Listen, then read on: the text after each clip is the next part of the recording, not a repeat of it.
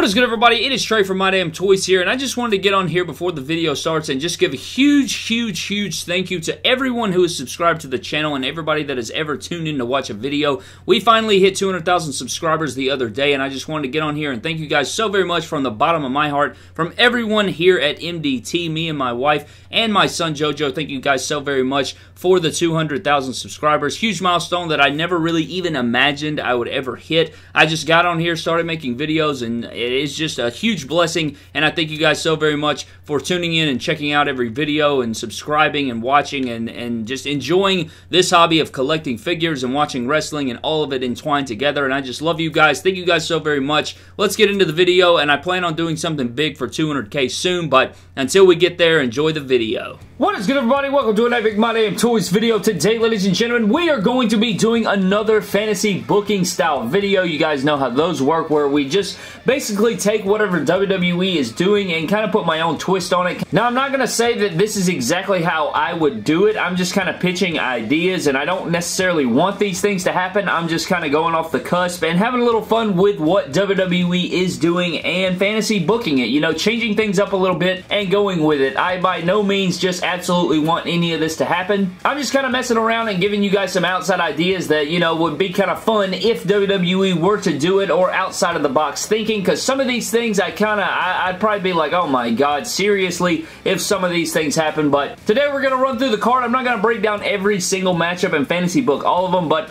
I figured it would be fun to get on here and tell you guys my thoughts about some of these matches and give you my own fantasy booking ideas behind them. First off, I will say for both women's matches, I would just have Bayley beat Nikki Cross, and then I would have Sasha beat Asuka so that you'd have both of them win both women's championships. They'd hold all the gold, right? They'd have both the Raw and SmackDown Women's Championships. They'd own both Women's Tag Team Championships, obviously. So booking that, I would probably have them lose the Tag Team Championships at SummerSlam, but and, and retain their main championships. And then at Survivor Series, you would have champion versus champion. That could lead to that. So when they lose the Tag Championships at SummerSlam, that would be the crack in the foundation, if you will, leading to their championship versus four championship match at Survivor Series where typically, you know, the titles aren't on the line, but I would put the titles on the line for that matchup between Bayley and Sasha. That's the only way to book that one. That's a good fantasy booking. I doubt WWE does it that way. That's just how I would do that one 100%. Now, as far as the rest of the matches go, I guess we can start off with Apollo Crews and MVP. You guys know that this is the United States Championship match. We have the uh, relatively new Apollo Crews, right? The relatively new Apollo Crews as champion. Now, there's a couple things you could do here, okay? You could do, one thing you could do is you could absolutely just have Apollo Crews retain, right? I mean, that's the logical thing to do is just have Apollo Apollo Crews retain. But another thing you could do is you could have my boy Cedric Alexander. Have Cedric Alexander. You guys know that backstage they've been teasing it. They've been teasing it. He's been kind of talking with MVP. I know that he has rejected MVP,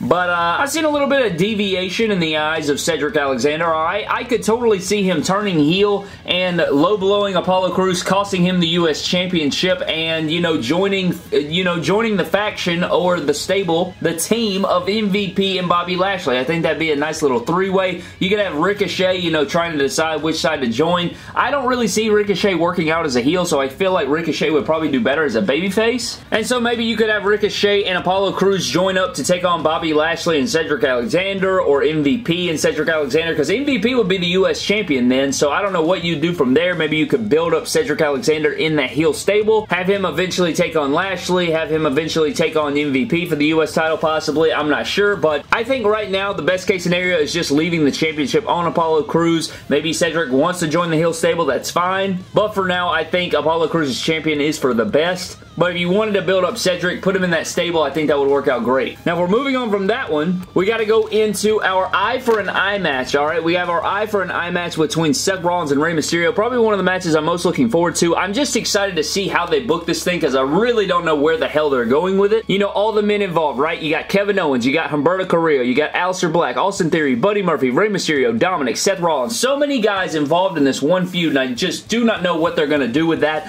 Uh, I think this is going to be either a cinematic match or, you know, they're going to use some sort of CGI to remove somebody's eyeball. Which for me, I think fits Seth Rollins more. I think that his eye being ripped out with an eye patch with his all black attire just looks right. Uh, Rey Mysterio, we've already seen, right? We've already seen the little black covering over his eye, so it's basically like he already has lost his eye to an extent. I don't know where you go from that unless you're trying to write him off television or get him out of the company, which I did hear that he, uh, I feel like I heard somewhere that he might not have re-signed with the company or his contract expired and he's not even under contract right now. He's just kind of working with WWE directly. So I don't know how all that's going to pan out, but if it were me fantasy booking it, I think a cool thing to do would have maybe, I, am not a fan of Dominic, but may I know it's another heel turn, but maybe turn Dominic heel on his father and you could have him low blow him or help Seth Rollins cost Rey Mysterio. Dominic joins the Monday Night Messiah faction with Seth Rollins, Buddy Murphy, Austin Theory. You have your four guys there and then Rey Mysterio goes off to do whatever he wants to do and you could have Dominic there. I just don't know where he would build to, right? I mean, I know he's very young and I guess this would work for him, but I see him getting lost in the shuffle in that role. So I guess uh, maybe even if he doesn't join Monday Night Rollins or, or he doesn't join the Messiah or the Disciples there, he could just turn heel on his father and have it be a heel going forward, but I just feel like he doesn't fit in that role. I, I, I am just fantasy booking right here. So maybe you could have Dominic help Rey, and you, then you lead to Seth Rollins have the eye patch. Because I just don't see Dominic turning heel and be it like Buddy Murphy and Austin Theory are much bigger names. They're, they're better wrestlers right now. They're just overall much better than Dominic right now. And I just don't see it working out with him being among those other guys. I know you could compare it to like Randy Orton, Batista, Triple H, and Ric Flair and Evolution, but that was totally different. Those guys were like one of a kind, and Randy Orton was just like a, a freak of nature in that role. So was Batista, along with Triple H and Ric Flair. I mean, that's that's a god tier stable right there, man. I just don't see that uh, being like a good comparison for the Monday Night Messiah and Disciples right there. So I would either have Dominic help to lead to an eye patch with Seth, or I would say turn heel just for shits and giggles. Little pop of, you know, what the hell's going on. Maybe he could disappear for a while. That's what I'd do for that one. Now, if we're moving on to the Blue Universal Championship match, I want to say the WWE title for last, but for the Universal Championship match, for this one, for me, you know, the title's not on the line, so there's not a lot you can really do with this, but maybe, I mean, you could lead to a little brain control, right? I mean, we got the old Bray Wyatt character. Maybe you could take over Bray, uh, Braun Strowman's mind, controlling him like a puppeteer, being the puppet master, nobody can stop him,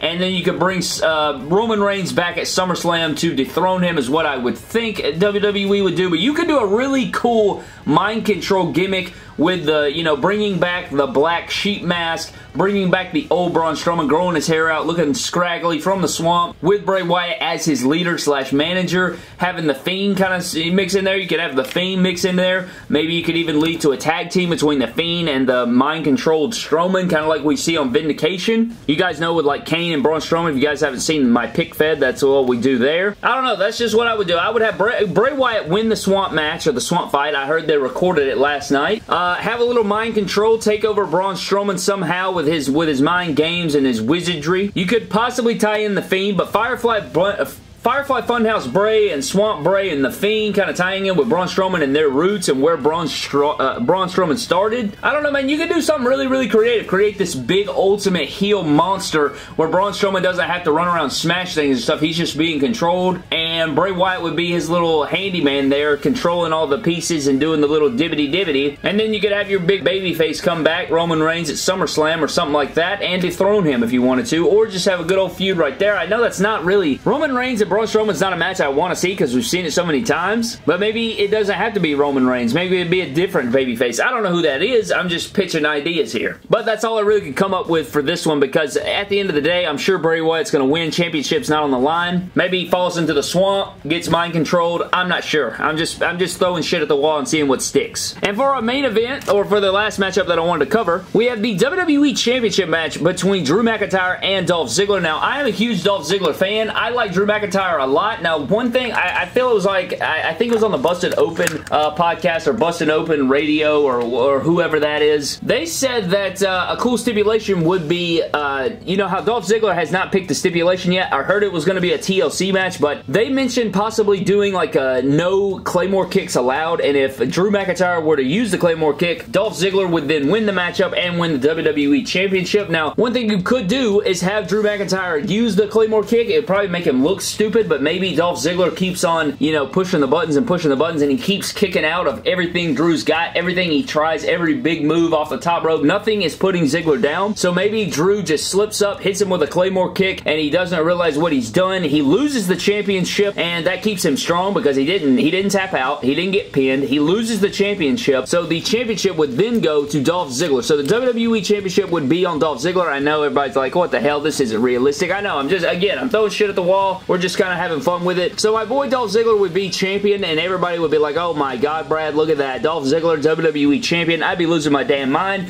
And then out of nowhere, Brad, did you forget? No, you didn't.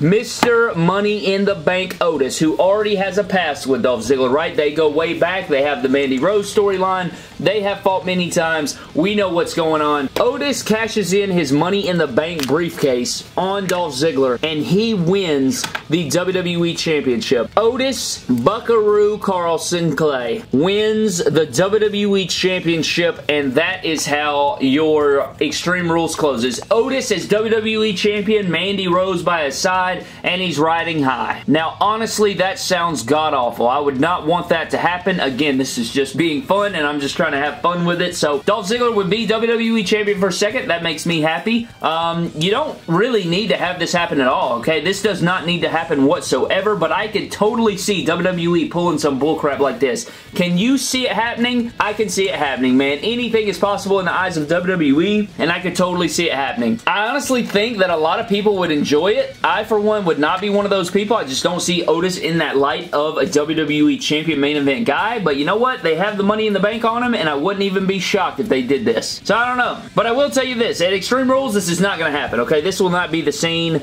Dolph Ziggler won't win. Otis won't cash in. It will be none other than Drew with McIntyre. This is the only, this is the only thing that should happen. Drew McIntyre retaining his WWE Championship, but I hope you guys had a lot of fun with the fantasy booking. If you guys have your own fantasy booking ideas down below, again, I didn't put a ton of thought of this into this. I just kind of ran with it and thought it would be a pretty cool video for you guys. And I know you guys enjoy the fantasy booking style video, so maybe I can do some more as we approach each pay-per-view. Maybe we can do a fantasy booking each pay-per-view as we go from here. But that is going to do it for this video, guys. Thank you so very much for watching. Subscribe to the channel. Follow me on Instagram and Twitter at MyDamnToys. Thank you so much again for 200,000 subscribers, guys. You guys are the best. You are what makes this channel possible, and without you, I would not be anywhere, and I, I appreciate you guys more than anything you could ever imagine. I'm not sure exactly what I want to do for 200k, but we will think of something. If you guys have any cool ideas down in the comment section below, please let me know. But I'm getting out of here, guys. I'm still working on Vindication. The time has just not been working in my favor. I thought for eh, it'd be done forever ago, and we're still working on it, so I apologize greatly. It is coming soon, but I love you guys. Thank you so very much for all, everything you do. Liking, sharing, subscribing, commenting. You guys are the absolute greatest.